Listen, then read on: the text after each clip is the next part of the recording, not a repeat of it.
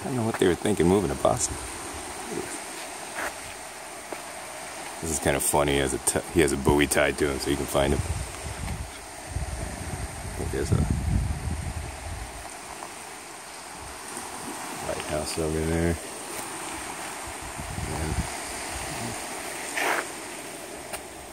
And, and palm trees.